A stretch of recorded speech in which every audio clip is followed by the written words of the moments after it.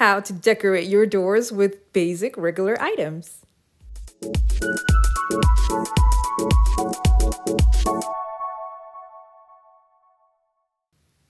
Hey guys, Yoduvh Essentials here. For today's video, I'm going to be covering up some old doors. And yeah, you can just paint them, but I would like to do something more than just painting over the door. So I'm going to be starting with 3D panels over the two doors that I was showing you guys earlier. And I'll be attaching them with a mounting tape that I got from the Dollar Tree. I'm doing this so that if in the future I don't like the design, I can easily take it off.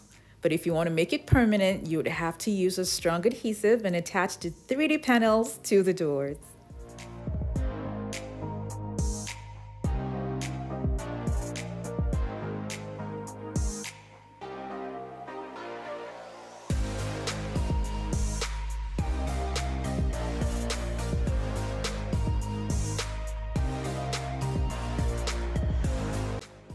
If you're new to my channel, it's so great to have you here. Now don't forget to click on the subscribe button and that notification bell so you don't miss out on any of my latest videos.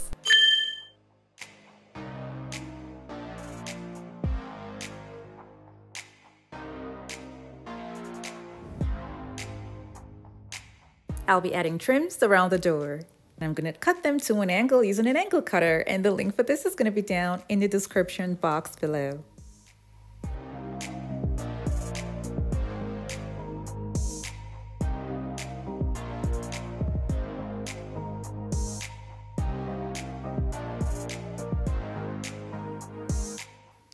I've got two doors close to each other, so I'll be repeating the same design that I did for this one on the other one.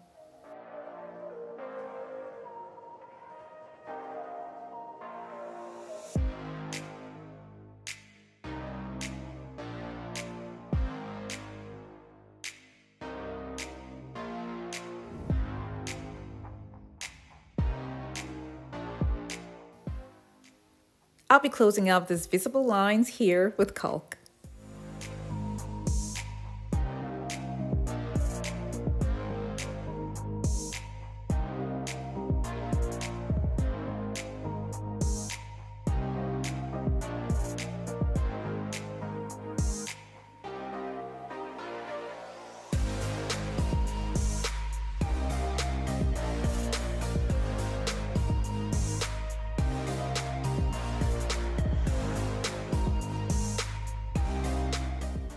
I'll be using a much slimmer PVC trim to decorate the sides of the doors. You can get this from Lowe's or Home Depot. I'm going to be covering the trims with gold contact paper and the link for this is going to be down in the description box below.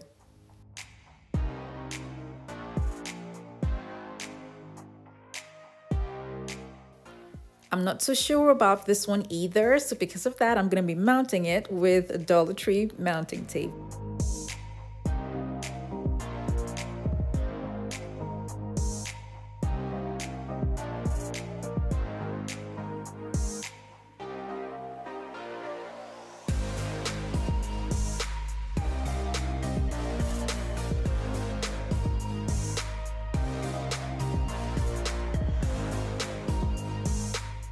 I love the way the doors look like now. And they have a unique look with a 3D panel. For the second design that I'll be sharing with you guys will be for this large door. Now because of the design that's on the door, I would have to cover it up first before I continue with the project.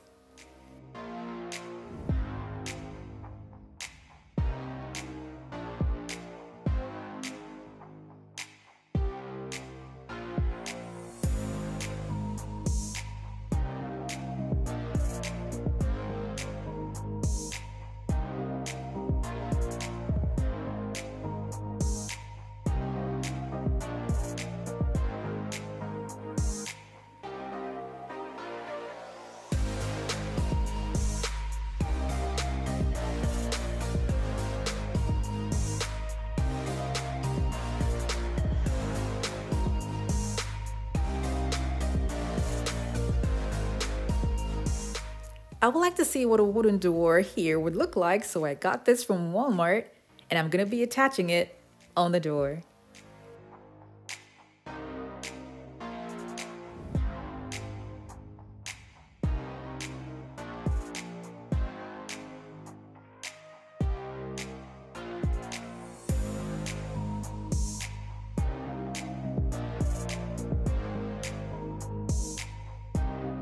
Now for the middle part where the door handle is, I'll be using this rubber floor mat that I got from Lowe's. Spray paint them silver and attach them to the door.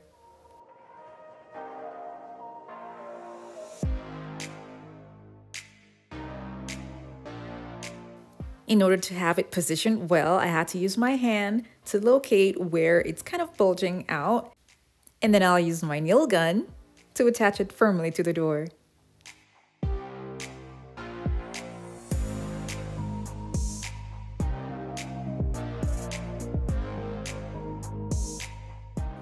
I opened up provisions for the lock and the handle.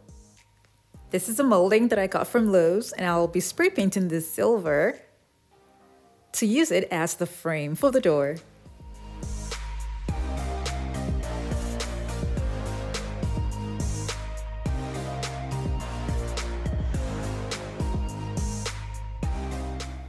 The design you see at the bottom was for a different door, but then it's the same molding that I use for this door as well.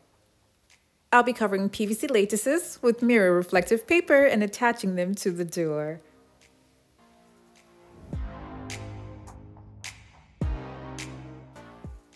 I'm going to be cutting smaller strips of mirror reflective paper to use on the thinner PVC strips.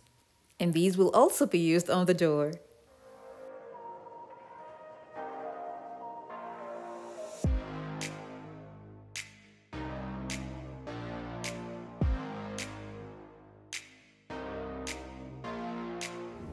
This is beautiful and simple the way it is, but I would like to see what it's going to look like with a screen panel.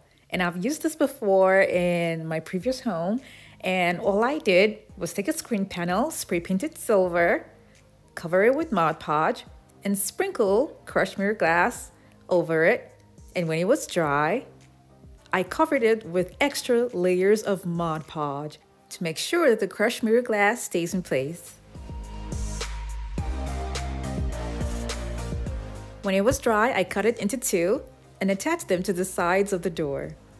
I repeated the same thing and cut them to size to fill up the empty spaces that I have on the door. This is what it looks like. The middle can be changed, so what I did was to use a white contact paper that's marble at the middle.